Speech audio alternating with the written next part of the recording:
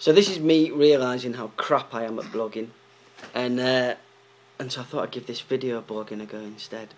And I thought I'd start by telling you uh, about the new book, which I have about 10 weeks left uh, to write it before I have to deliver it. And so far I'm about 30,000 words into what I hope is going to be about a 65, 70,000 word book.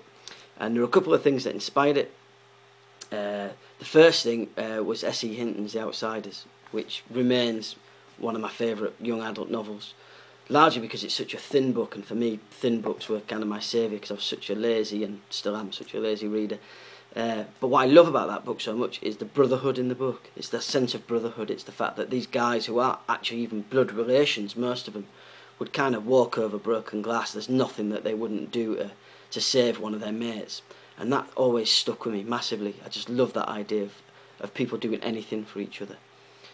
And then teamed up with that was uh, a lot of the footage, TV footage that came about from the war in Afghanistan, especially all the repatriation ceremonies in uh, in Wootton Bassett. And I don't know what it was about him. It was just this big kind of outpouring of grief and this idea of the whole town coming out to to bring these young men home who'd made that kind of ultimate sacrifice. And there was something about that that really stuck with me.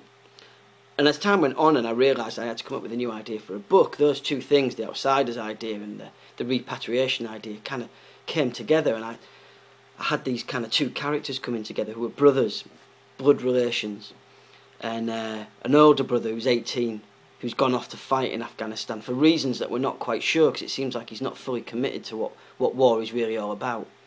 And also a younger brother at home who's waiting for his big brother to come back but the tensions arise when the big brother comes back, and instead of being this older figure that always holds the group together, instead he comes back kind of damaged, uh, changed uh, massively by what's gone on while he's been in Afghanistan. And this whole role reversal idea that the younger brother maybe has to do the looking after of him for a change, and the tensions that that would bring about.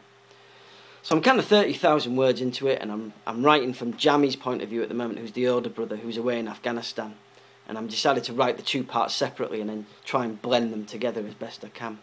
So it's a bit of a challenge, and as I say, I've got about 10 weeks left before it has to be delivered in first draft, so no pressure.